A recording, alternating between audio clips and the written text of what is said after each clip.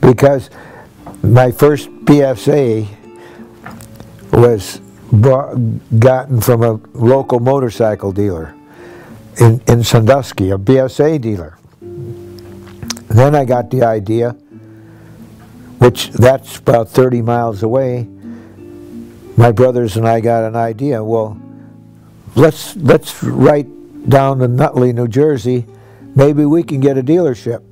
So that's what we did. We got a hold of the, BSA distributor or importer in Nutley, New Jersey, and they said, "Well, sure, you can, we can set you up. You got to buy buy two motorcycles. You can buy them at a good price, and and you're a dealer." So I got it, got two motorcycles, and and uh, I was a, we were a dealer, and we started in a little old shop down here. What was originally a chicken coop, and we set it up, and we were BSA dealers. Oh, about four years later, this this little shop was growing.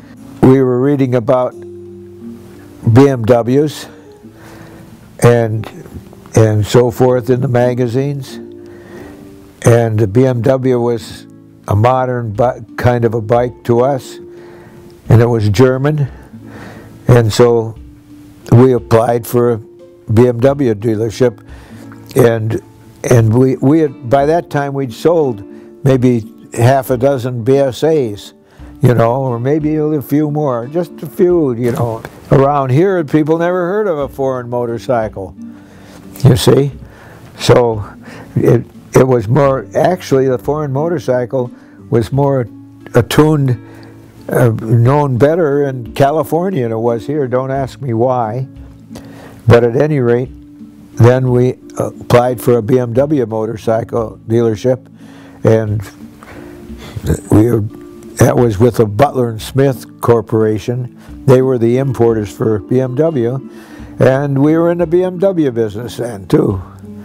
Well, it was kind of an unusual shop. We we had a we we uh, built onto a little bit onto the end of the chicken coop, and we showed some bikes there, and and the chicken coop then became the repair shop, and we had a beer cooler in there along with a pop cooler, and, and it was kind of in a way a little hangout too, you know. You don't think of the shop as we shop to have today. This was the beginning of all of this, you know, and so forth.